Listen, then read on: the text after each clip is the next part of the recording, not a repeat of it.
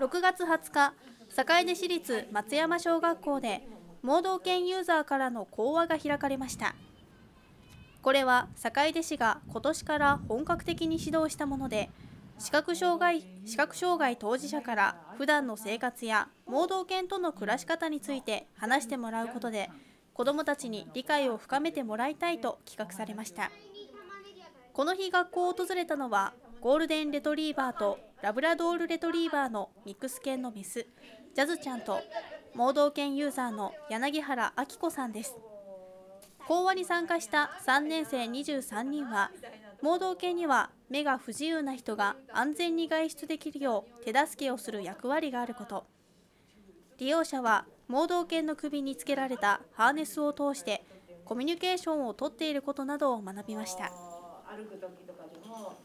きちんとあの指示が聞けることこれが一番大事なことであとはその盲導犬自身が考えて動かなきゃいけないことっていうのがあります。それが、えー、段差を見つける曲がり角を見つける障害物を避けるこの3つは私が何も言わなくても盲導犬がきちんと見つけて私に知らせてくれます。児童らは柳原さんの話をメモを取りながら真剣に聞いていました。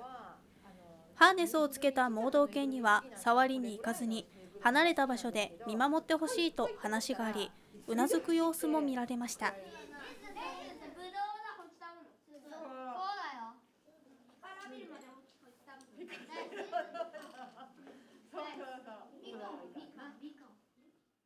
盲導犬で行ったらダメなところが多いから行ってもいいところが増えてほしいです。盲導犬の人に手伝えることがあれば手伝いたいです。盲導犬は何も言わずに障害物を受けることがしてすごいなと思いました。最後にジャズちゃんとの触れ合いの場が設けられました。児童らは初めて見る盲導犬に興味津々の様子でした。